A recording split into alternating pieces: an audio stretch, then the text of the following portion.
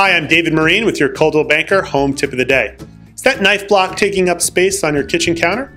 Look at getting a magnetic knife strip to hang on the wall to clear up some counter space and add a little gourmet decor to your kitchen.